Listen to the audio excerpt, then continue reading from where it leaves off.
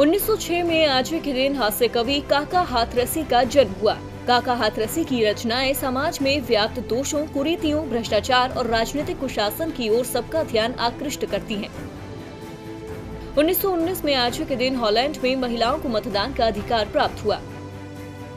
1922 में आज के दिन हंगरी लीग ऑफ़ नेशंस में शामिल हुआ।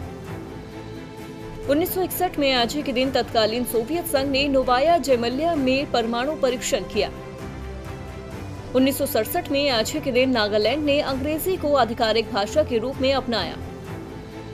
1976 में आज के दिन ब्राज़ील के प्रसिद्ध फुटबॉल खिलाड़ी रोनाल्डो का जन्म हुआ। 1978 में आज के दिन अमेरिका के तत्कालीन राष्ट्रपति जिमी कार्टर की मौजूदगी में मिस्र के राष्ट्रपति अनवर अल सादत और इसराइल के प्रधानमंत्री मेनाकेम बेगिन शांति वार्ता के लिए राज़ी हुए। उन्नीस सौ सत्तासी में आज के दिन अमेरिका के तत्कालीन राष्ट्रपति रोनाल्ड रीगन ने आने वाले कुछ सालों में 1000 परमाणु मिसाइलें खत्म करने की घोषणा की। उन्नीस में आज के दिन बर्मा ने अपना संविधान रद्द किया।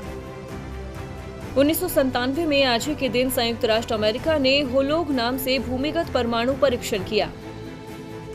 2003 में आज के दिन ढाका अगरतला के बीच बस सेवा शुरू हुई।